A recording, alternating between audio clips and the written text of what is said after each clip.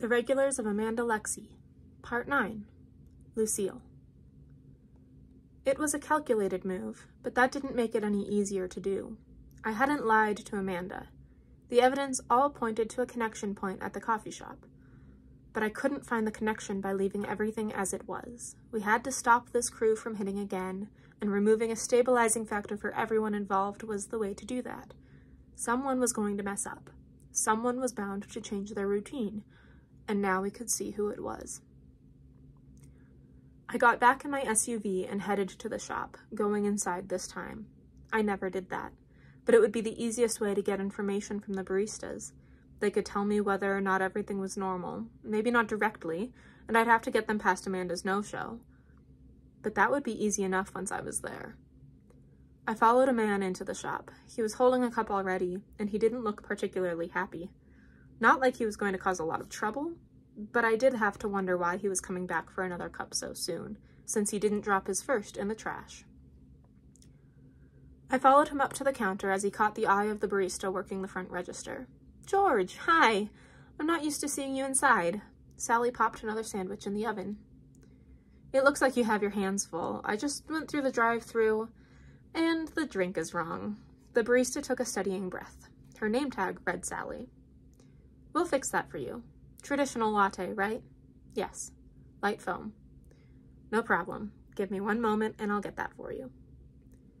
Things are definitely different. People going into the shop when they usually don't. Twice in one morning. That had to be affecting things too. I watched the man a little longer as he waited for his drink. Then I ordered my own. What can we get for you? The barista asked. It really is a shame Amanda's not here. She knows my drink on sight. One large white chocolate mocha, please, and a large light roast vanilla latte. The barista typed that in. Anything else we can get for you? No, that's all. It's crazy in here.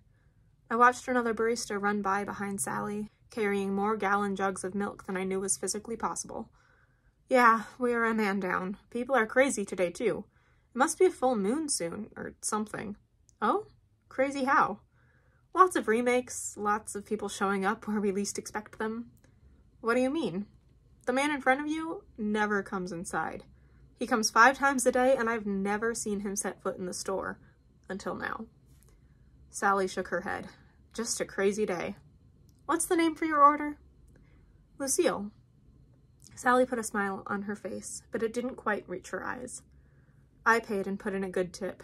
They deserved it today for the crazies I put them through. Thanks. Your drinks will be ready down at the end of the counter. Thank you, I said. Then I went and waited next to the other man, George. He was typing quickly on his phone, a phone I never expected someone to type that quickly on. In the world of smartphones, who still used a phone with a slide-out keyboard? I maneuvered myself so I could get a photo of his face without him noticing. Not a minute later, his drink was called, and he walked out of the shop. My drink, and Amanda's, followed shortly after. I took a quick video of everyone I could see from this spot in the store, aiming the camera over my shoulder in selfie mode, as if to film a TikTok video. Then I got my drinks and went back to the car. By the time I got back to base, a disturbance at the guard shack was holding up the line. I could hardly believe it. Another familiar car.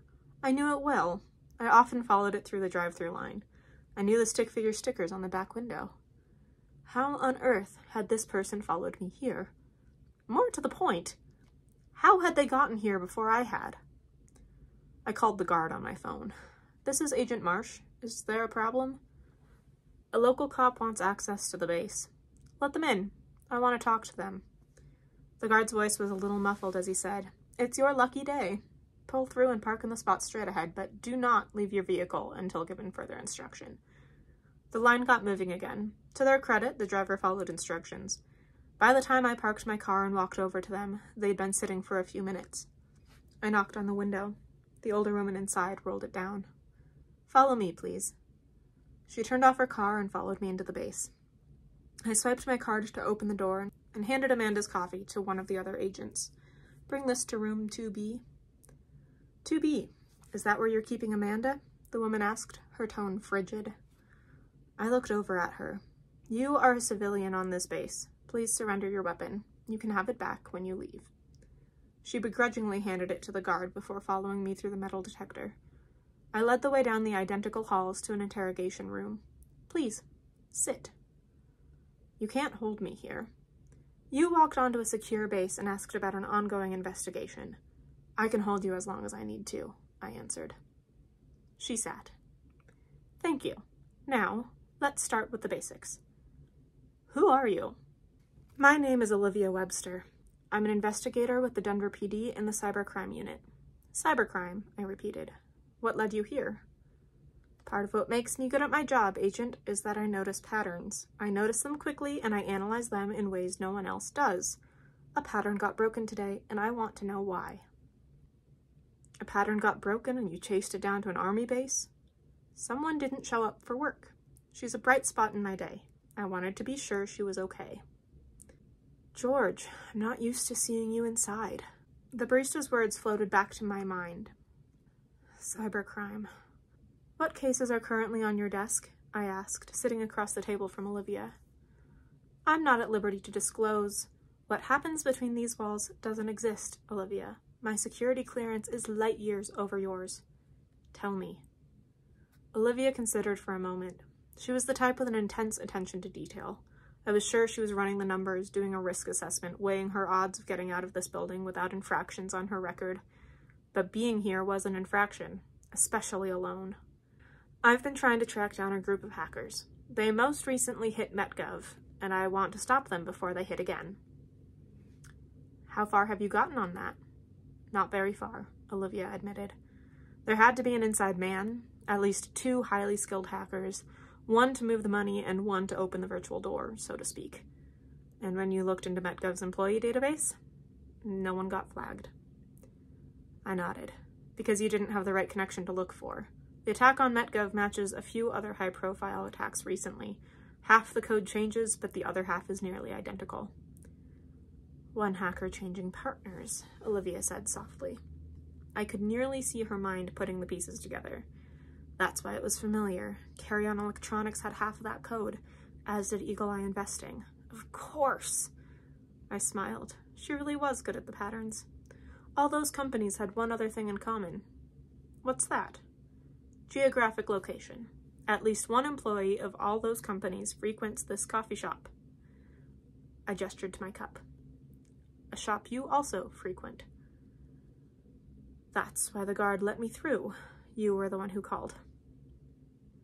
How did you know to come here? It was simple, really. Amanda wasn't in the drive-through window this morning. Go on. I looked her up. I have the resources, too, so I tracked her down. She'd broken all her patterns today, and her apartment complex has a security system that wasn't hard to get access to. Imagine my surprise when I saw your fluffy pink steering wheel cover pulling into this space with Amanda in the back seat. I want to see her. I can't let you do that. Not until we've checked out your story. She knows everyone and everything that happens in that store. She knows the customers more than her manager does. If the next target is in the store's customer base, I am going to find out. I can't risk you doing something to stop that from happening. Sit tight. Someone will be in to confirm your story shortly. I left Olivia in the interrogation room and went to our own cyber team. Good eyes on Amanda's apartment. I want to know who else may have tracked her disappearance. Yes, ma'am. And run the faces from this video and this photo. I plugged my phone into the computer to let them access my files. There's a good chance our hackers are in this shop. This story, segments of this story, and ideas from this story are not to be duplicated or replicated in any way. This content belongs to JJ Hanna alone. Please note, this is a work of fiction. Any similarity to real events is unintended by the author. Want to get these stories straight to your inbox? You can subscribe to my mailing list and skip the hassle waiting for me to post. If you enjoyed this story, please consider contributing to JJ's Coffee Fund. Also, don't miss your chance to get some exclusive merch specific to the Regulars of Amanda Lexie series.